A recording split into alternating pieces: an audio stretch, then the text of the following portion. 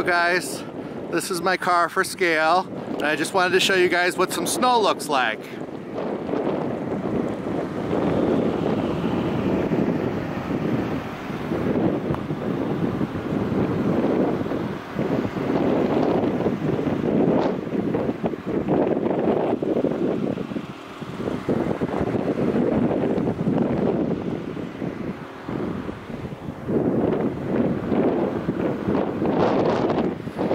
Hope you guys aren't missing this.